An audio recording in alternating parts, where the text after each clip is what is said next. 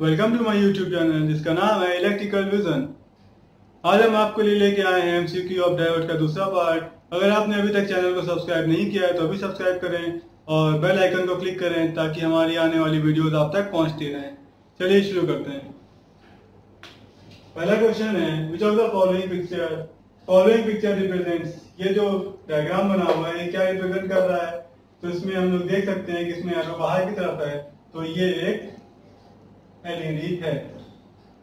अगला क्वेश्चन है ripple factor of half wave rectifier is option है 0.48 1.21 0.37 2.41 इसका सही आंसर है 1.21 क्योंकि हम लोगों ने थ्योरी पढ़ा है कि इसका आंसर 1.21 होता है। अगर यही फुल वेव कहता तो 0.48 होता रिपल फैक्टर अगला क्वेश्चन एलईडी कन्वर्ट्स ऑप्शन है light energy into electrical energy, electrical energy into light energy, sound energy into light energy, thermal energy into electrical energy.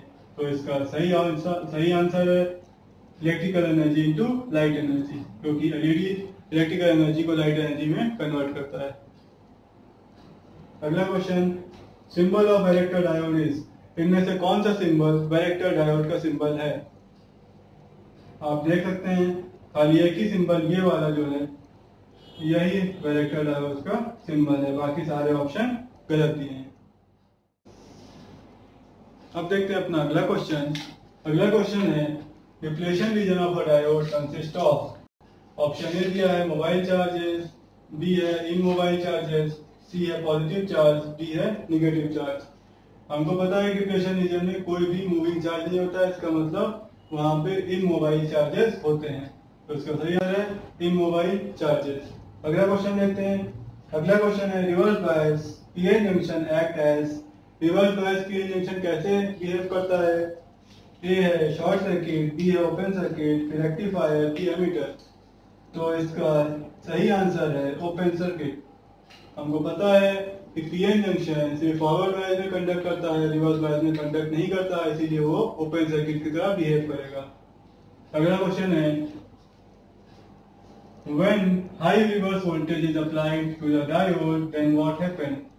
अगर डायोड को हाई रिवर्स वोल्टेज दिया जाएगा तो क्या होगा? ऑप्शन है आपका जनरल ब्रेकडाउन होगा लॉन्चे ब्रेकडाउन होगा नी वोल्टेज होगा कि इट बिकम ट्रांजिस्टर वो ट्रांजिस्टर बन जाएगा। इसका सही जवाब है एवलांचे ब्रेकडाउन होगा। अगला क्वेश्चन है LED emit light because LED light क्यों एमिट करती है। इसका सही आंसर है रिकॉम्बिनेशन टेक प्लेस जब रिकॉम्बिनेशन होता है, तभी एलईडी लाइट एमिट करती है। अगला क्वेश्चन देखते हैं। अगला क्वेश्चन है depletion layer is created due to depletion layer का क्यों क्रिएट होती है?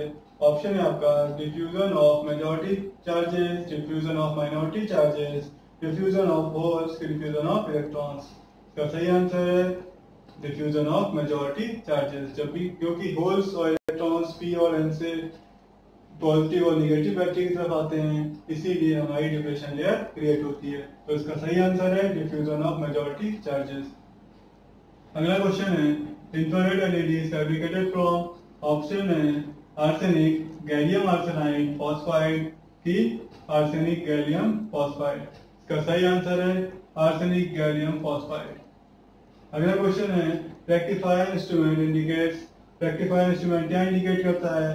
RMS value peak value average value की नन ऑफ़ अबव इसका सही आंसर है रेक्टिफायर इंस्ट्रूमेंट आरएमएस वैल्यू को इंडिकेट करता है। आपको ये वीडियो कैसी लगी हमें ज़रूर बताएँ। अगर आपको ये वीडियो अच्छी लगी है तो लाइक का बटन दबाएँ। अगर अभी तक आपने हमारे चैनल को सब्सक्राइब नहीं किया है तो भी सब्सक्राइब करें और इस बेल आइकन को ज़रूर दबाएँ ताकि हमारी आने वाली वीडियोस की नोटिफिकेशन आप तक पहुँचती रहे। तब तक के लिए गुड लक